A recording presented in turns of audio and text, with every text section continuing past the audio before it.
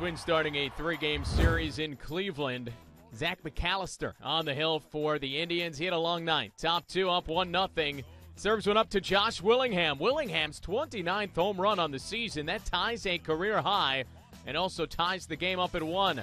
Next up, Justin Morneau. And the 2 2, a swing and a rocket to right and deep. All the way back. The Twins go back to back. First Willingham, now Morneau.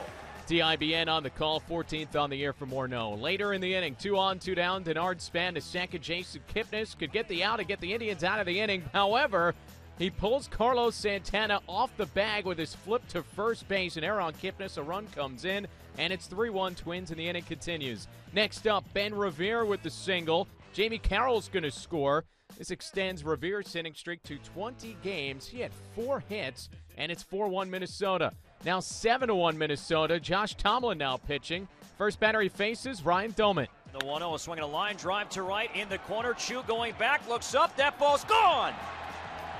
A three run homer for Ryan Doumit.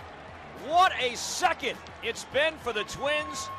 The Twins post a 10 spot in the second, now lead 10 to 1. That's TIBN once again. Eight of those 10 runs in the inning were unearned. Top four, Morneau again over the wall, touch them all. A long home run for Morneau.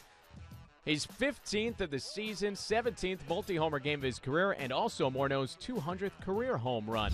Morneau goes 3 for 5 with 3 runs and 4 RBIs, and the Twins blow away the Indians 14 3. They hand the Tribe their 10th straight loss. Scott Diamond enjoyed the offensive outburst. He went 7 innings to become the first Twin since 2010 to win 10 games in a year.